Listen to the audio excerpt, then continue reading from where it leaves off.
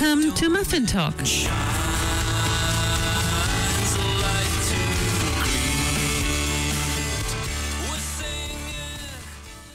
Kia and welcome to Muffin Talk. This program is brought to you by the initiative Titipounamu, Study and Joy. Today's broadcast is a recording with Professor Thomas O'Loughlin, who introduces us to the context in which the first Christians celebrated the Eucharist. Professor Thomas O'Loughlin is an ordained priest and emeritus professor of historical theology at the University of Nottingham in the UK. Here goes the recording.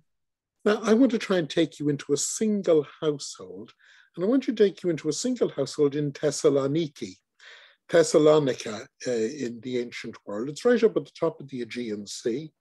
It's fascinating because it was one of the great, and still is, a great port.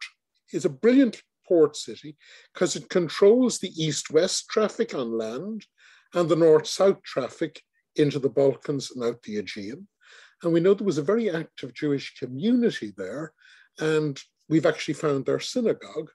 Moreover, it was a very religious city because all the religions were competing, and in the center of it, the archaeologists have been digging now for past 50 or 60 years, and they have found just how many temples were in Thessalonica. So this is a very religious place, and everyone that you would meet in Thessalonica takes religion very seriously. These are all religion hogs, even though they're traders. And let's, let's assume that on one occasion, the meal is taking place in a household where most of the people, their background is Jewish. And this would be the group that Paul knows about, but it's not the group that he's primarily interested in when he writes to the Thessalonians. He's then interested in a group that are mainly ex Gentiles. But this Jewish group, they're still meeting every Saturday to celebrate the Sabbath. They're still thinking of the Sabbath as the great gift of rest that God has given them. And on a Friday evening, they're still celebrating their thanksgiving for the creation in the Shabbat meal. So they're blessing at the beginning of the meal and they're blessing at the end of the meal, and they're seeing the whole meal. It's not a case that there's a religion bit and a meal, but the whole meal is part of their religious activity. And now because they are followers of this particular rabbi and his disciples, they're also sharing a meal which expresses their unity, not just as the people of God, but as their unity with this rabbi, Jesus. And some will be very deeply involved in a Judaism that's linked back to Palestine. Others, it'll be a a Judaism that's very much in the Mediterranean mold. Some will have Essene tendencies. They'll be interested in the people as stepping aside and forming the new community, getting ready for the end. Others will have Pharisee influences, and that is they're now a priestly people, and they'll be emphasizing purity, and they'll be very worried about impure people at the Eucharist. And there'll be others who will be straight Mediterranean Jews, the sort of Jews that produced the great translation of the Old Testament that will become our standard edition, the Septuagint. And they will see Judaism as the perfection of all religions, as Philo did, because it didn't get involved in mythologies about the gods, not like the Greeks, gods fighting and gods having sex and gods getting angry and playing games, but a God who is infinitely greater. And because it's infinitely greater, they're in, they're in infinite dependence. So Judaism is a very varied phenomenon, and all those varied phenomena are coming into and forming these early communities of disciples. But just down the road in Thessalonica, there are other groups who they're not sure, they're very clear that they're following Jesus, but they're not so sure about how Jesus relates to Judaism. And whereas the Jews are a bit worried about all these Gentiles coming in who don't really buy into the history of God saving acts in Israel. This group are saying, hey, I just want to, I just want to worship God. I don't want all this out history of, you know, all that stuff that happened way long ago over there in the desert. Hey, not for me. And this is the group that, that, that Paul is worried about. And Paul is saying, well, it's a bit more complicated than that, mate, you know?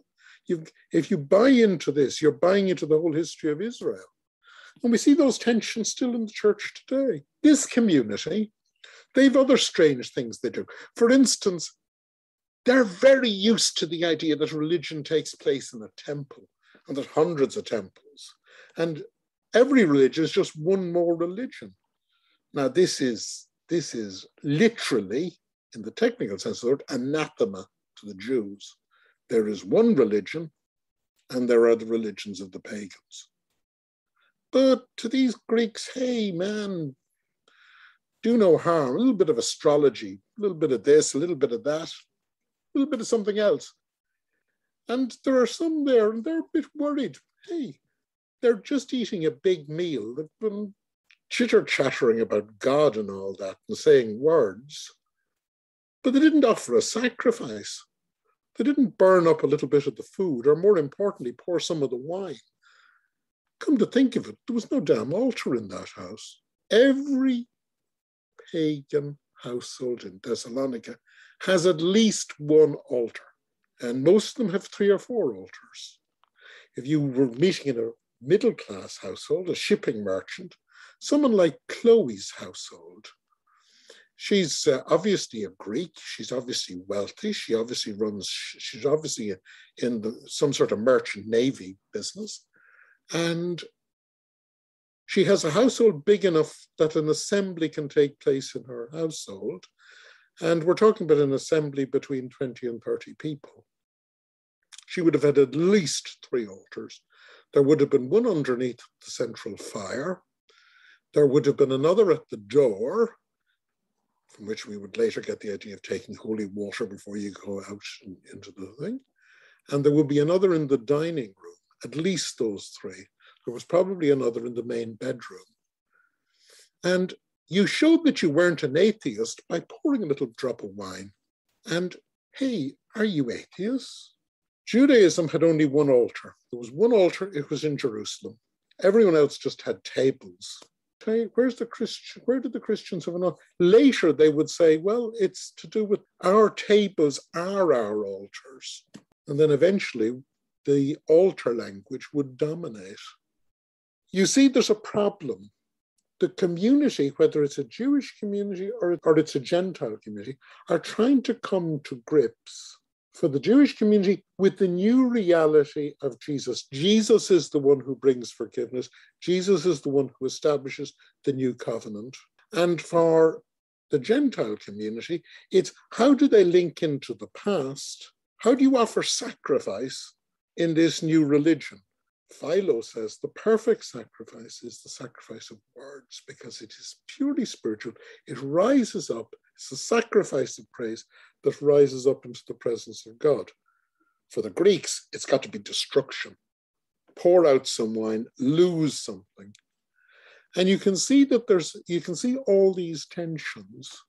And this is also part of our legacy. And that's one of the reasons why still today there's so much argument.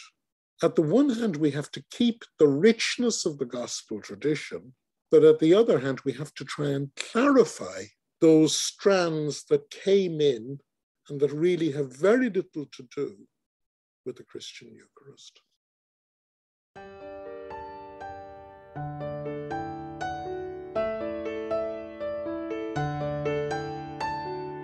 Out there, oh, peace is calling.